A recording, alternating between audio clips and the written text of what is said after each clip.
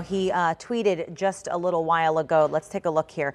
Uh, Senator Marco Rubio, uh, among other things, he says, Today is a terrible day you pray never comes. But take a look at this last tweet. He says that he just finished an update from federal authorities on Florida school shooting. It's clear the attack was designed and executed to maximize loss of life. And as you just heard, we do know that this suspect had an AR 15 with countless magazines. That's how many authorities say, too many to count, countless magazines that he brought with him into Stoneman Douglas School today. I also want to go ahead and take a look.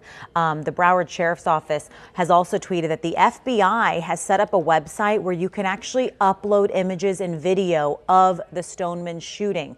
Um, so we're going to have a link to that on our website, but you have to submit any information along with those pictures and videos that you have of the shooting. This is their way to try to get some more information, um, some more information about the shooter, uh, some more information about what was going on during this entire thing. So if you are a student at that school and you were there at the time, if you have any kind of pictures, no matter what it is, you may not think it's important, but that doesn't necessarily mean it is not important to the investigation. Of course, social media is going to play a big part in this because these are high school students we're talking about after all. They have their cell phones on them. They were taking their cell phones out, recording video, taking pictures, uh, texting their parents, trying to call their parents to let them know that they were safe, just trying to communicate in any way possible. So we know social social media is going to be a huge part of this investigation, and which is why the FBI has set up this website in order for students to go ahead and upload pictures, video, whatever you have, information, um, so that way they have that so they can conduct